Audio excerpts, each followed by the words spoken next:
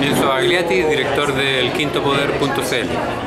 Muy bien, bueno, Enzo, eh, más que conocido, yo quiero saber tú cómo estás ahora mismo en el mundo, o sea, cómo has estado en el mundo de las bibliotecas, eh, cómo a lo largo de tu vida llega un momento en el que te decantas por este entorno de biblioteca, ¿cómo llegas ahí?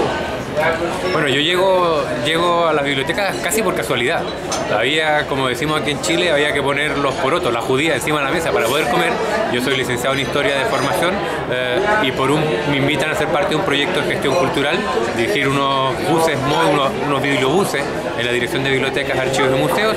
Estoy hablando del año 98 y eh, dos años después me invitan a integrarme al equipo de las bibliotecas públicas, del sistema de bibliotecas públicas en Chile, específicamente para colaborar en la formulación del programa BiblioRedes, que es el programa que ha dado acceso a Internet de forma gratuita a, través de todas las bibliotecas públicas de Chile y además desarrolla competencias digitales y promueve la generación de sitios web, eh, de comunidades virtuales en torno a la cultura local de las bibliotecas, de las, de las comunidades de las bibliotecas. ¿Y tú habías pensado alguna vez cuando eras pequeño, cuando eras jovencito, que ibas a trabajar en el mundo de las bibliotecas? Nunca, nunca, nunca. Me gustaban mucho las letras, me gustaban mucho los libros, me gustaba mucho el mundo de la cultura, pero nunca pensé que, iba a terminar trabajando en la biblioteca.